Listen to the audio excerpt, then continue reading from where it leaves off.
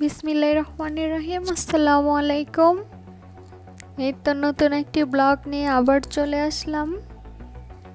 আসলে দুদিন কোনো ভিডিও দিই নাই।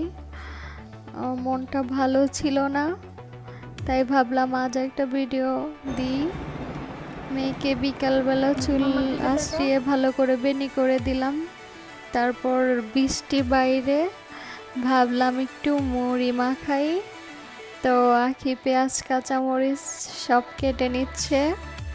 বৃষ্টির মধ্যে বিকালে মুড়ি খেতে, মুড়ি, ভর্তা সব কিছু দিয়ে খেতে কার না ভালো লাগে। যখন ছোট ছিলাম গ্রামে থাকতাম, তখন তো প্রচুর বৃষ্টি হতো। গ্রামে অনেক বৃষ্টি হতো। এই জন্য মাঝে মাঝে বিকেলে বৃষ্টির দিনে এরকম মুড়ি মাখাইতাম ভালোই লাগতো। বেশিরভাগ রোজার টাইমটা বৃষ্টি ছিল। পুরো ভিডিওটা শ্যুট করি নাই। আর আমি দুপুরের রান্নাবান্না কিছুই শ্যুট করি নাই। দুপুরে গরুর মাংস রান্না করা ছিল।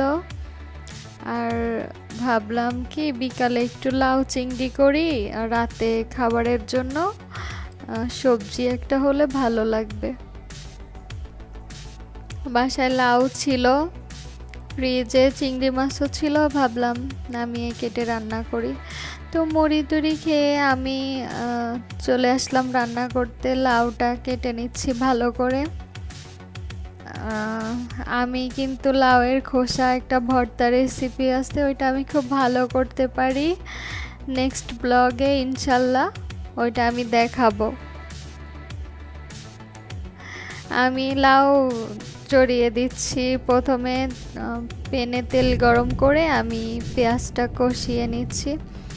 এর মাঝে আমি আসলে রাত একটা বাজে বয়স দিচ্ছি। বাইরে প্রচুর পরিমাণে বৃষ্টি হচ্ছে, আকাশে কেমন বিজলি চমকাচ্ছে বা শব্দ করছে। গর্জন শোনা যাচ্ছে, খুব ভয় ভয়ও করছে। পরে এই জন্য তো আমি লাউ রান্না করছি এখানে। চিংড়ি মাছটাকে ভালো করে পেঁয়াজ রসুনের মধ্যে ভেজে নিব। একটু লাল করে ভেজে নিয়ে, তারপর আমি একে একে একটু পানি দিয়ে সব মশলা অ্যাড করব। লবণ, মরিচ, হলুদ, ধনিয়া, এগুলাই। এই তো আমি লাউ দিয়ে দিচ্ছি।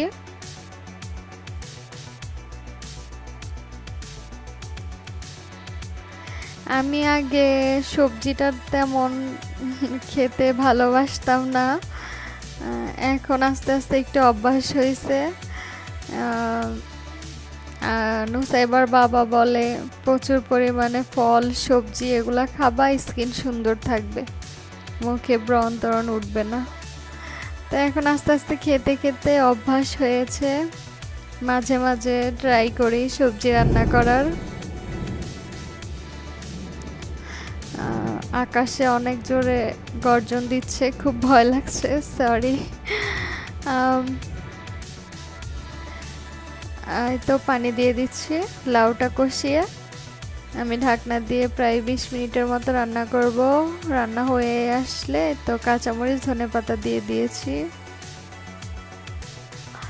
আমার ভিডিওটি ভালো লাগলে লাইক, কমেন্ট, শেয়ার করতে ভুলবেন না।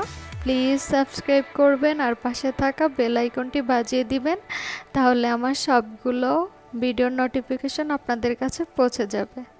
আসসালামু আলাইকুম। আল্লাহ হাফেজ।